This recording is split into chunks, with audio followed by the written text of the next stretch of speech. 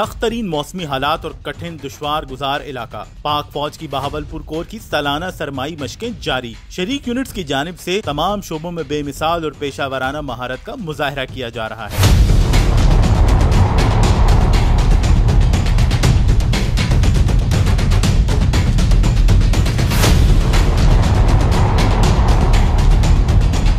Bahawalpur core की सालाना सरमाई मशकें जरब हदीद जारी हैं। आई एस पी आर के मुताबिक कोर सतह पर होने वाली जरब हदीद मशकों का मकसद ऑपरेशनल तैयारियों को मजीद बेहतर बनाना है। जरब हदीद के दौरान मुसल्ह अफवाज के दरमियान हम आहंगी बढ़ाने आरोप भी तवज्जो दी जा रही है।